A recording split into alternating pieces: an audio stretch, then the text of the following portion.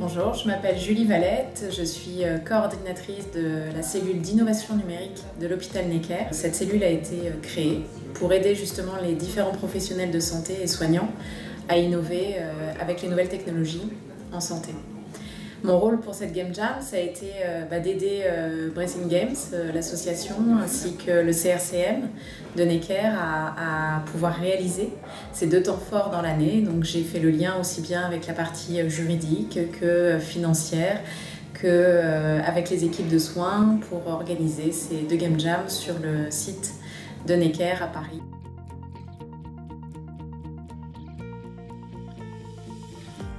Les euh, premières Game c'était vraiment euh, un gros temps de créativité où il a fallu qu'on imagine, qu'on mette en place euh, les deux jeux qu'on allait co-construire ensemble. Donc c'était beaucoup d'ateliers en petits groupes, de focus patients pour savoir ce qu'ils avaient envie de faire, vers quoi ils avaient envie de tendre comme jeu.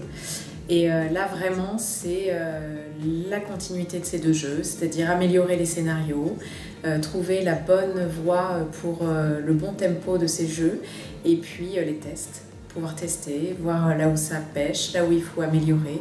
Et c'est là où les patients aussi interviennent de manière très intelligente et on, voit à quel point ça enrichit encore plus les jeux qui ont été initiés dans la première Game Jam.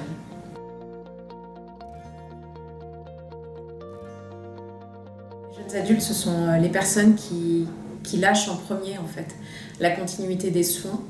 Et donc c'est un enjeu majeur pour nous de, de garder ce lien et l'observance en tout cas euh, qu'ils euh, qu'il restent connectés à leurs soins.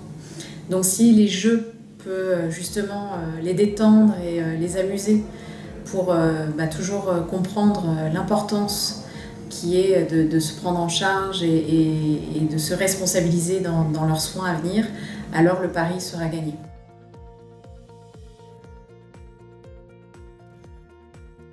Je vois qu'il y a euh, un vrai engagement en fait des équipes, un vrai plaisir de se retrouver et de, justement de, vouloir poursuivre et de continuer ensemble, de se donner euh, de nouveaux éléments pour avancer.